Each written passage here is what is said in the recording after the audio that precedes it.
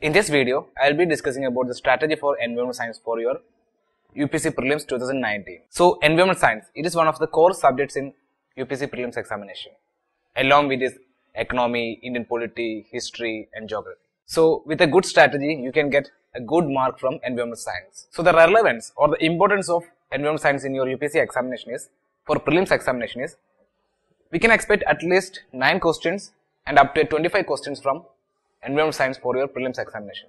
That means in between 18 to 50 marks we can expect from environmental science for your prelims examination. So that much role environmental science has in your UPSC prelims preparation. So for the preparation we require three things. That means what to study, how to study and where to study. So regarding what to study from environmental science, in order to know what you have to study from environmental science, we can go through the previous questions. So by going through the previous questions, we will be knowing what are the important areas of UPSC.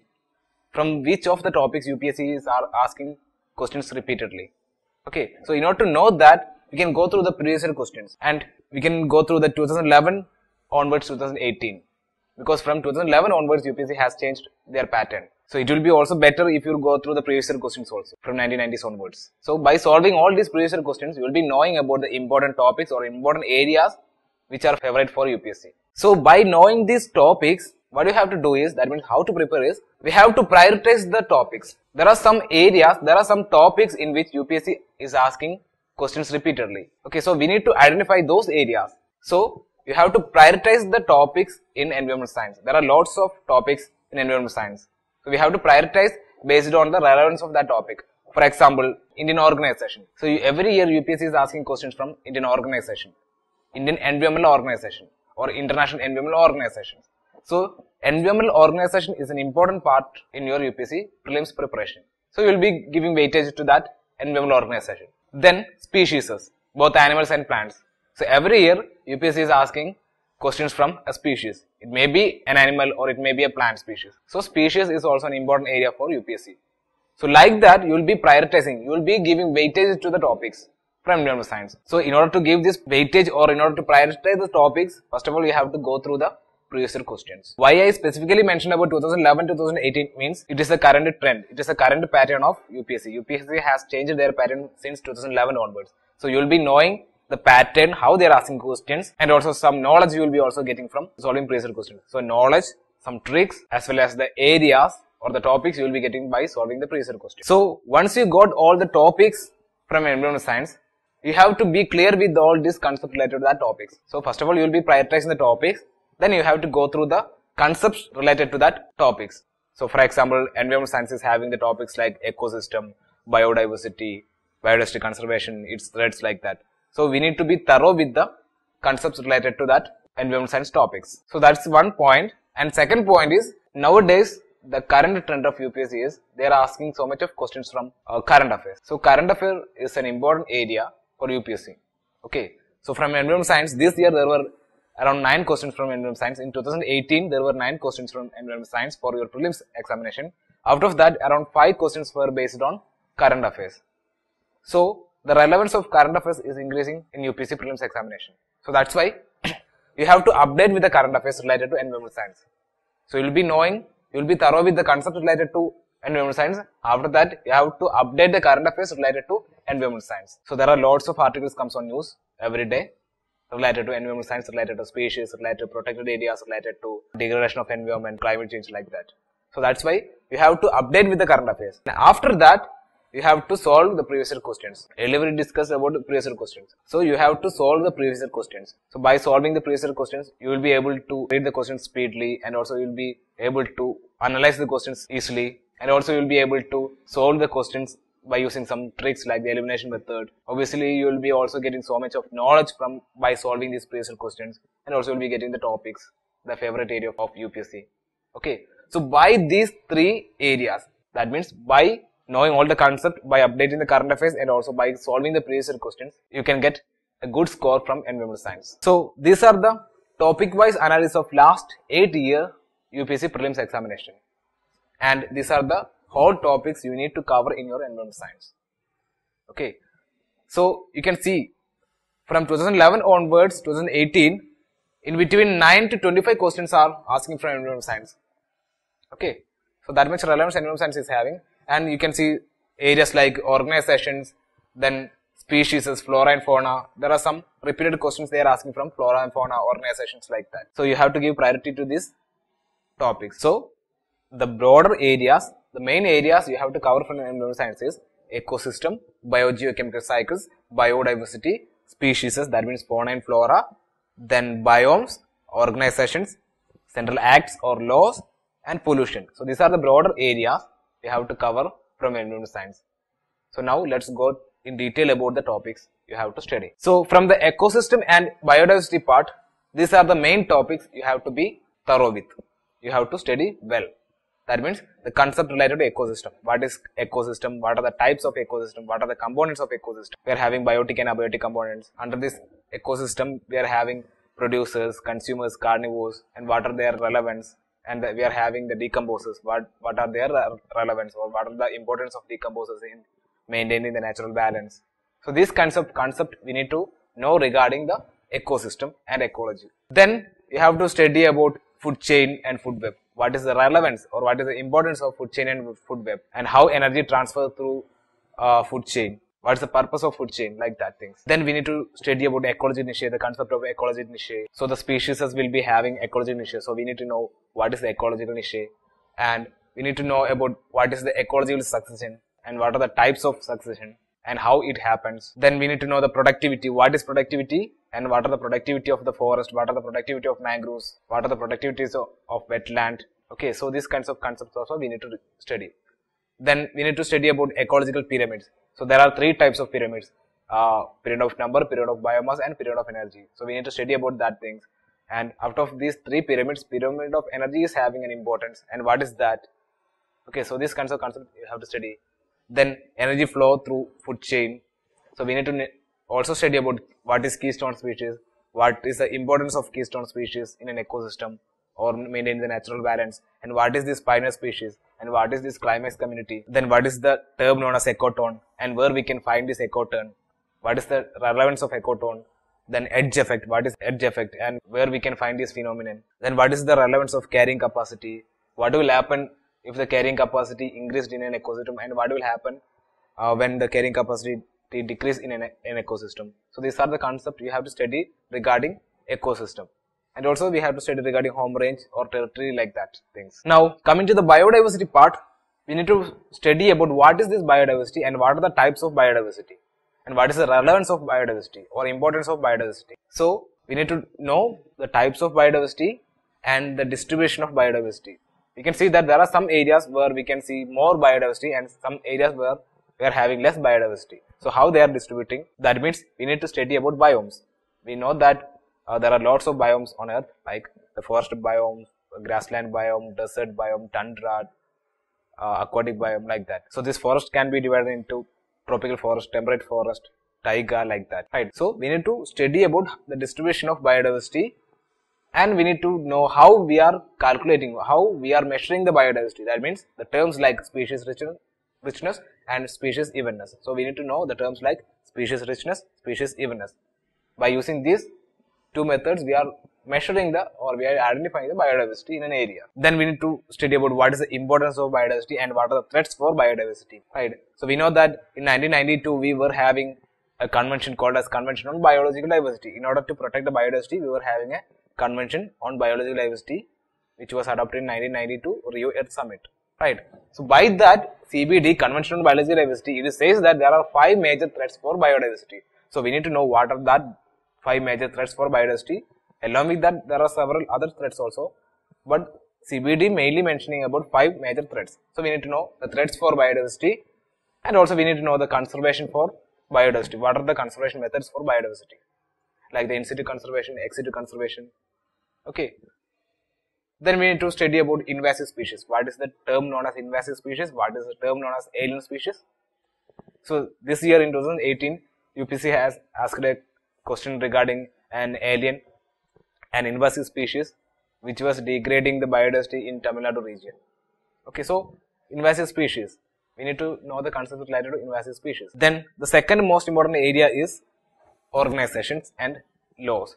So there are lots of international and Indian organizations which are dealing with environment protection. and there are some central laws also. So we need to study that. Okay. So from organization, we, what are the things we have to study is what they are stand for, what this organization is stand for, or how they work to protect the environment, whether it is a governmental organization or non-governmental organization, whether it is having any par- partners or parallel organization. For example, I can say an example, UNEP, United Nations Environment Program. That was the main outcome of Stockholm Conference. We are having Stockholm Conference. Okay, so by the Stockholm Conference, we have this UNEP. So UNEP was a main outcome of Stockholm Conference, right? So like that points we need to study. So if it is having any parallel organization or if the organization is having any major partners, we need to study. So these are the things you have to study regarding organization. Okay, the organization, its purpose, its aim or its vision and how they are working. For example, some organizations, they will be giving funds for the environment protection or some organization will be giving technologies for environment protection or some will be making awareness creation programs. Okay. So, or some organization will be supporting the projects related to environment protection. Okay, so how these organizations are working, their aim, their function, okay, how they are working, like that things you have to study regarding organization, both international and Indian organizations, right? And there are some central laws in India. For example, Biodiversity Act is there, uh, Wildlife Protection Act is there, Environment Protection Act is there. So we need to study regarding the major provisions of these laws in India. Okay, and also we need to study regarding some organization which are established under the provisions of these laws. For example, by the Biodiversity Act, we are having National Biodiversity Authority. So, National Biodiversity Authority is constituted under the provisions of National Biological Diversity Act 2002. Then this National Tiger Conservation Authority (NTCA) is given legal protection by the Indian Wildlife Act, Indian Wildlife Protection Act 1972. Okay, so these are some examples you have to study. Okay, so like this, there are some organizations which are established by the provisions of some laws and they are called as statutory bodies. So we need to study regarding statutory bodies. Okay, so these are the main points you have to note down when you are going for studying this organization and central laws. And when regarding the central laws, we are also having Indian Wildlife Protection in 1972, right? By that, Indian Wildlife Protection in 1972, we are having some schedules, schedule 1 to 6. And schedules, these schedules are listing out the names of animals which need to be protected. And schedule 6 is dealing with the plants, schedule 1 to 5 is dealing with the animal protection. So, UPSC is also asking questions related to that. UPSC will be giving the animal is protected by the Wildlife Protection Act 1972. Like that statement will be there. So, we need to know the wildlife, uh, the protected animals in India. Okay, which are given legal protection by Wildlife Protection Act 1972. So, from species, what are the main points you have to study is from both the animal and plants. When we are saying about species, we need to cover both animals and plants. Okay. So, first of all, we need to know the species, the main features about the species. That means we need to know about the species. Okay. So, we need to know what are the main features of that animal, what are the character or if it is having any, if it is an, any endemic species to some part of India that we need to know. For example, lion-tailed macaque, it is endemic to uh, Silent Valley National Park right? Or Sangai deer or dancing deer, it is endemic to Manipur, right? Like that, there are some species which are endemic to some region. So we need to study that. Okay. So like that, if this species is having any special character, we have to study. So we need to know the about we need to know about that species and we need to know if that species is having any special character. Okay. For example, this year 2018, it is the year of Neelakurni. Okay, 2018, this is the year of Neelakurni. And Neelakurni is a endemic plant to Western Ghat, mainly to Kerala, to the Munnar region. So that the specialty of or the special character of feature of that Neelakurni is it blooms once in 12 years. That's the specialty of Neelakurni. Okay, so it is endemic to Western Ghat. So these kinds of features we need to study regarding a species. And Neelakurni it is related to a plant species, right? Like that and Khejri. Khejri is a tree which is a part of thorn forest, which is uh, which is a part of arid region, Khejri tree, and it is a keystone species in Rajasthan region. So we need to know about that species because Khejri tree it is in a threat due to the fungal attack and chopping of their branches. So like that, so there are some species which are endemic to some regions and which are some which is having some importance to that habitat. So we need to study regarding that species. both animals and plants. So after knowing their special features, we need to go for the distribution of that animal. For example, wherever we can see that species. For example, Silent Valley, on Silent Valley we can see lion-tailed macaque. Okay. Then Sangai deer, Manipur. Then Asiatic lion in Gujarat. Gharials on waters of or tributaries of Gange. Right. Then uh, Hornbill in the Western Ghat and Northeast. Like that, we have to study. Then Kashmir stag or Hangul, it is in mainly seen in the Kashmir region. Right. So like that, we need to know the distribution of these species. Nilakurni, it is in the southern part of India. That means mainly in Kerala. Right. And uh, red sanders, it's a plant species mainly endemic to Sheshachalam Biosphere Reserve.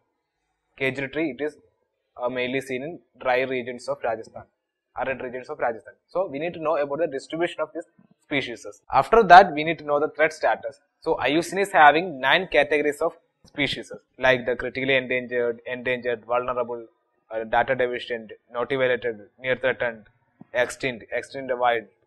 Okay, so like that, there are nine categories for IUCN. So we need to know the threatened status of these animals. And after that, we also need to study whether that species is given any legal protection. So earlier we said that by Wildlife Protection Act 1972 we are having six schedules. So we need to know whether that species, that animal is given any legal protection by Wildlife Protection Act 1972. Okay, because that kind of statements were there earlier.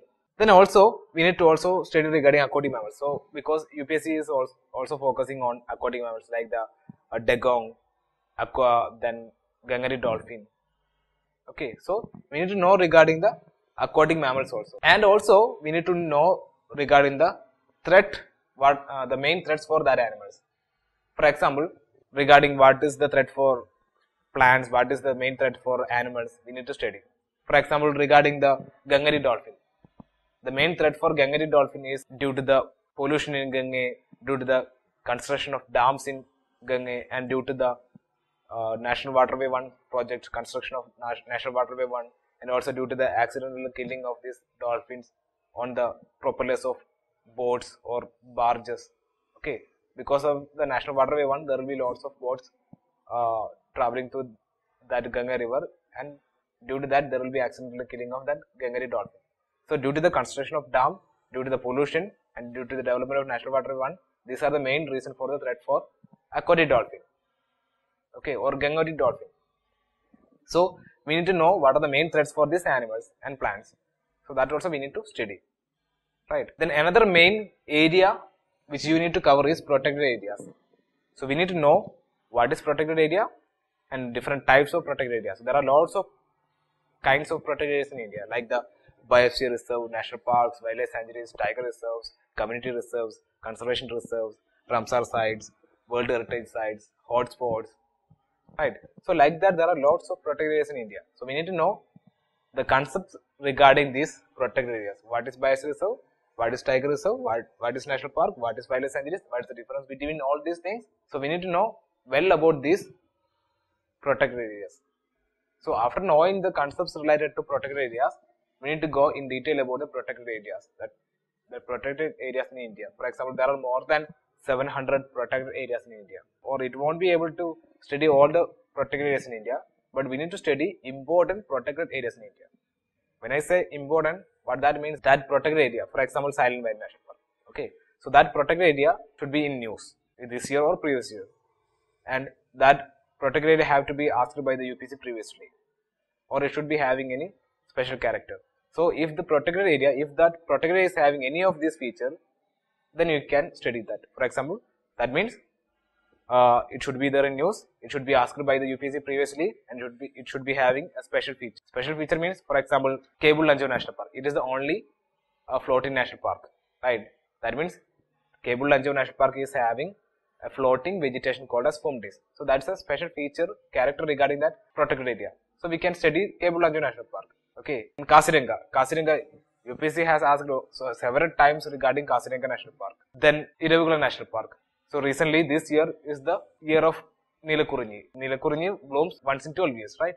So that's why it was in news, Eravikulam National Park and that is in Kerala. So it was in affair, right? So if any national parks or wildlife sanctuaries or tiger reserves, that means any protected areas are there in news, then you have to study regarding that protected area. Okay. And what are the things you have to study regarding that protected area is its name, its location, that means its state, okay. And if there are any rivers passing through that protected area, we need to study. For example, through Silent Valley National Park, Kunthipuzha River is flowing. Through Nagarjuna Sagar Station and Tiger Reserve, Krishna River is flowing. Right. Through Panna Tiger Reserve, Ken River is flowing. Through Umaran Kashanala Wildlife Sanctuary, Vainganga River is flowing. So, like that, if any river is flowing through any protected area, we have to study that. Then, mountain ranges and hills. That means, if that protected area is, is located on any mountain area, we have to study that. For example, Silent Valley National Park, it is on the Nilagiri hill ranges, right? Or uh, Nagarjuna Sagar Srisailam Tiger Reserve, it is on the hill ranges called as Nallamala hill ranges. Okay, so Nagarjuna Sagar, it is on Nallamala hill ranges. So, like that, we also need to study the hill ranges of that protected areas.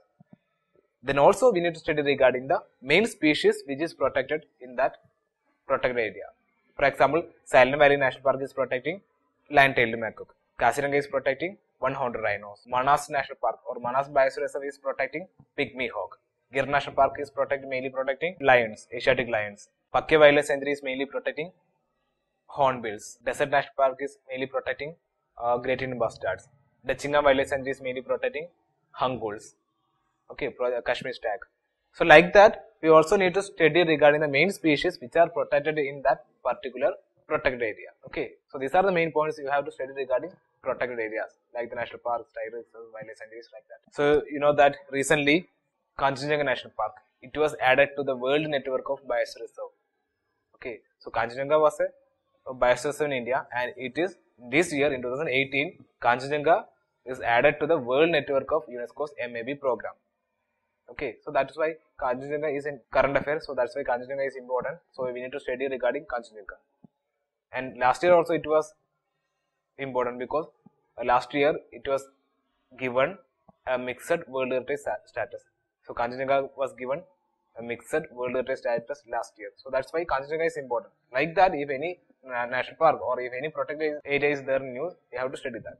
So the next area is regarding the biomes. So there are lots of types of biomes in India, right? So we need to study regarding the concept related to biomes. So we need to study what is this biome and the types of biome, okay, the characteristics of biome. For example, forest. Forest is having some characters, right? So forest is a biome, desert is a biome, uh, grassland is a biome, uh, tundra is a biome, aquatic biome is there, right? And under this forest, we will be having lots of types of forest. For example, forest can be divided into temperate forest, tropical forest and taiga. And that tropical forest again will divide into uh, equatorial forest and deciduous forest or evergreen forest and deciduous forest. So, uh, the classification will be going like that. And also we need to study regarding the main characteristics of that biome or ecosystem. For example, evergreen forest, the features regarding evergreen forest, the features regarding uh, deciduous forest, the features regarding uh, taiga forest or coniferous forest, the features regarding uh, savanna biome, tropical savanna biome. Okay, so all these natural vegetation is having, all these vegetations is having some special characters. So we need to study that. For example, evergreen forest or tropical forest or equatorial forest is having more than 200 centimeter rainfall and it is having evergreen trees. It is the most complex forest in the world. It is having tall trees. It is having epiphytes there. It is mainly having arboreal animals there. So these are the some features regarding tropical evergreen forest and its soil is deficient in nutrients than that of the deciduous forest. So like that there are lots of characters regarding tropical forest. So we need to study that. And regarding tropical savanna, tropical savanna is a kind of grassland and the specialty or the feature of or the character of that tropical savanna is it will be having the grassland will be having individual isolated trees. So that's the main point regarding tropical savanna. So we need to study the main features regarding these kinds of natural vegetation. Okay, so the character of natural vegetation. Then we need to study the major types of forest found in India. So we have to know the major types of natural vegetation in India and also its distribution. That means uh, wherever we can see this tropical evergreen forest in India. For example, we can see the wet evergreen forest in India in uh, Kerala, Tamil Nadu, Karnataka in Western Ghat in all, and some states in Northeast, in Andaman Nicobar also. Right. So we need to know the distribution of these kinds of natural vegetation in India. And also, we need to know the dominant tree species which can be seen in that particular vegetation. For example, as part of evergreen forest, we can see uh, evergreen trees like the mahogany, like that. Okay, and as part of deciduous tree, we can see the trees like the teak, sandalwood, red sanders. Okay, and as part of tropical thorn forest, we can see the Khejri tree, like that, acacia tree, like that. Okay, as part of a wetland ecosystem, we can see mangrove vegetation. So, we need to know the dominant tree species which are part of these kinds of vegetation, natural vegetation. Okay, so we also need to cover the natural vegetation in India. So, these are the main areas you need to cover from environmental science. Along with these all topics, you also need to cover pollution and biogeochemical cycles or the nutrient cycles. Okay, so the pollution because our recent days we know that the pollution in India is increasing, right? So India is hosting more number of more amount of particulate matters. Mainly Delhi is hosting more number of particulate matters, right? So regarding this pollution, there are lots of news articles. So that's why we also need to study regarding the pollution in detail. Now these are some book list. That means these are some materials you can prefer for your UPSC environmental science preparation. First of all, in order to get a basic idea regarding environmental science, you can go for NCERT books. So it will be better if you are going from uh, 8 standards onwards. 8 standards onwards up to 12 standards, you can prefer NCERT textbook in order to get a base idea regarding the concepts. Okay. So under that there are some books which are very important like the 12th biology book under that you are having ecology module. In the 11th class we are having fundamentals of physical geography and under this book we are having life on earth biodiversity and conservation. So biodiversity is dealt in this fundamentals of physical geography book.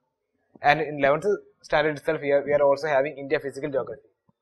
And in, in this india physical geography book we are having natural vegetation. So, if you are going through this NCERT textbook, you will be having, you will be getting a broad idea regarding or basic idea regarding these concepts. Okay. Then, in order to update with the current affairs, in order to recent initiatives of Indian government, you can prefer India yearbook or we can go for newspaper articles. Okay, along with this India yearbook, you, you also need to update with the newspaper articles. There are lots of news articles related to environmental science. So that's why you, have, you also need to go for newses, major newspapers like the Hindu, Times of India, Economic Times like that. Then you can also prefer the Shankar IAS environmental science book. Okay. Then if you are having any doubts regarding any other concepts, directly you can Google it. If you are if you are not available with any of these books, you can go for Google. When you are preferring Google, you have to ensure that these are authentic sites. Okay. For example, if you need to know any uh, data regarding IUCN or WWF, you can directly go for the official website of that WWF. Okay, so rather than preferring some other websites, you can go for that. You can directly go for the official website of that organization WWF. Okay, so if you need to get any uh, data regarding any Ramsar convention, you can go for the official website of Ramsar convention like that. Right. Or you can prefer the neo IAS environment science materials. So we are covering all these topics in our environment modules environment materials. Okay. So these are the strategy for your environment science preparation so the main thing you have to do is you have to be thorough with all concepts you have to update the current affairs and you have to solve the previous questions. So these are the main things you have to do in your environment science preparation. Okay? Thanks